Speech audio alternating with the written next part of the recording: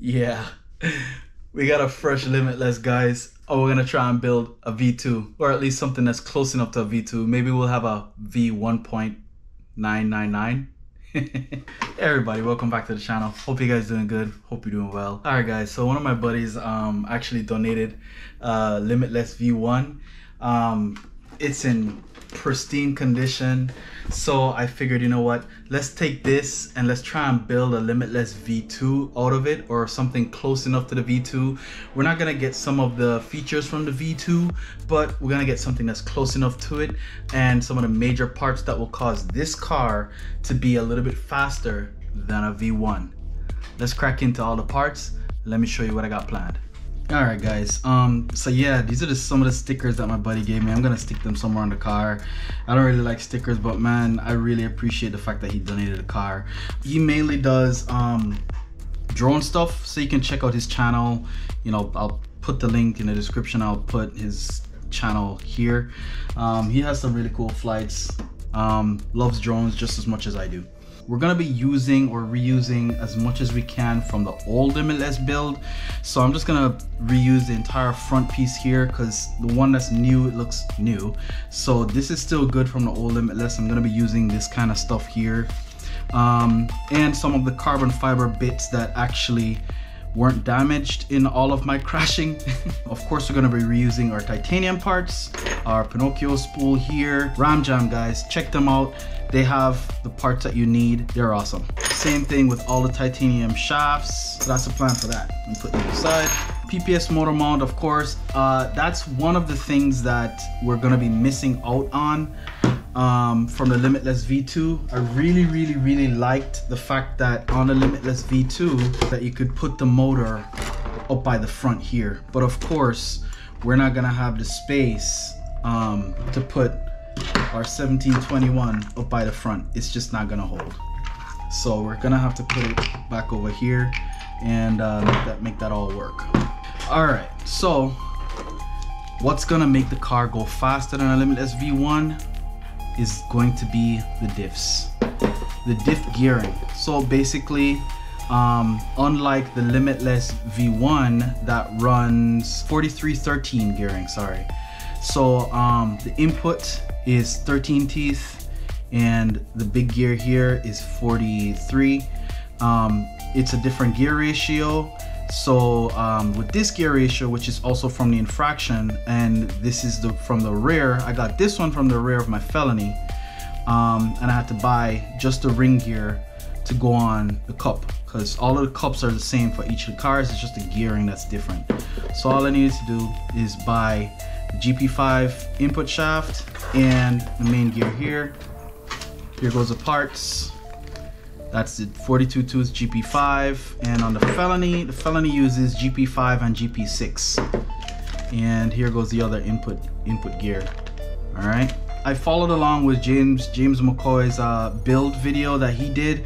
He did a great job in going over all the stuff that he does to get his cars prepped um, to go the ridiculous speeds that he goes. So if you follow along with his video, you can definitely hit some really good speeds. I, my goal is definitely not to hit 180, 190, 200. I don't have the roads for that.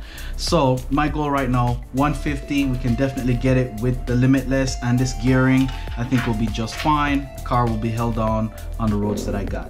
What I did is just use the oils that I have.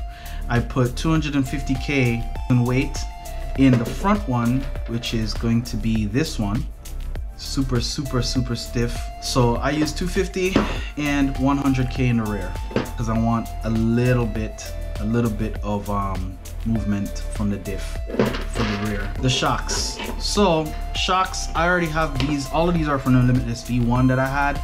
Um, the only thing I did was service them. The oils in them were running low. And also I, again, followed along with James McCoy's build video. I'm gonna put a link to his video in the description below as well. Use a nylon washer, open up the, the shock, take off the nut that's on the shock shaft, and you put this in the bottom shock body and you refill it will help you not to have to adjust the droop screw and he goes into detail about that so again check out his video if you want to know more but I did that for the two front shocks. They are super tight. Um, They feel really good. On my rears, uh, I don't have nitro tubing and I didn't want to just buy nitro tubing. Again, this is my budget build that I didn't want to spend money and buy any parts and stuff like that that I didn't already have. So I basically fished this all together from the old Limitless that I had and the old Felony and some other little parts that I had lying around. So I just used some some of the silicone glue that you have, you know, from arts and crafts stuff, the hot gun glue thing. So I just drilled a hole into it, right? Cut it to the length that I want, drilled a hole into it, put it over the shock shaft, right? And I put a zip tie I actually squeeze a zip tie in there if you can see and it's been it's this is what I've been running on the limitless v1 and it's been limiting it's been limiting the the shock the shock plate and it still has rebound it still does have a little bit of rebound in the back when you apply the spring. So it's it's been working. Um, again I don't want to buy nitro tubing just to to put that on on my shock shaft I don't have nitro cars so um, just buying a nitro tube just to put it on i was like all right i'm not gonna do that. I, i'll find something. And i did just that. So the only thing i have left to get um i ordered the the rear hubs the extended rear hubs um for the wider rear track. Um that the limitless v2 has as well. So that's the only thing i have left to get and then the whole build will be done. Last but not least big juice the 1721 motor. So i'm gonna be using 28 tooth on the pinion and 40 tooth on the spur and we're gonna stick with that. I don't think i need anything more. According to my calculations that should be good for like 160 170 miles per hour as long as i can keep the sag together this is not a build video at all i did do a full build video a full build series of the original limitless if you want to check out a build so i'm just gonna build it out um, do a little bit touches here and there and then after that at the end we're gonna just run the car, um, do a first test, couple of test runs on the car, nothing crazy. Anyway, hope you guys stick around and I see you when I finish the car. Phew, guys, that took way, way longer than I wanted to, but all right, here we are. So all buttoned up, everything looking pretty good. I just need to, you know, wire stuff up. Wow.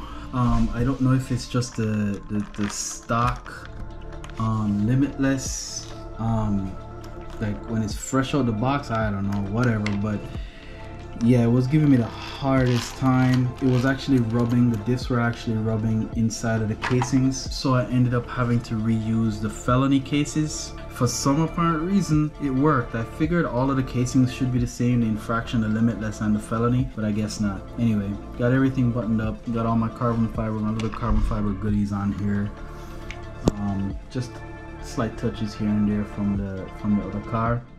So now um, just need to finish it up and uh, then we can do our first run. Ooh, it came out pretty good guys. I messed it up here and there but when this thing is flying by you're not really even gonna see all of that but dang. Yeah got it got it. Oh yes.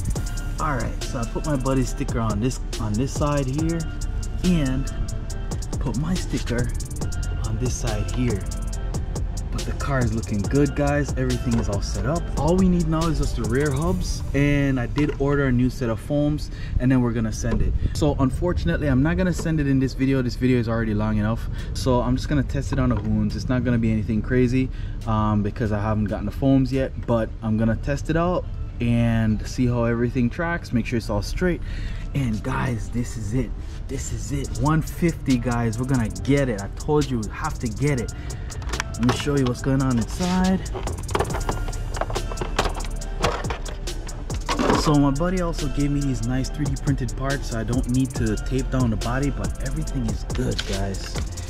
Everything is good. These crazy antenna wires i still haven't figured out what i'm gonna do if i'm gonna cut the body and just stick them straight up but i'll figure that out. Everything is good. Light on the back. Fresh fresh build guys. This thing is ready to go. All right really like the way how the body came out. The body looks really really good. Um still scuffed up here and there but that's cool. All right guys. I'll catch you again on the next one. And yeah we're hunting for that speed guys. And this thing is gonna do it. Remember to like subscribe and share. And i'll catch you again on the next one folks. Peace out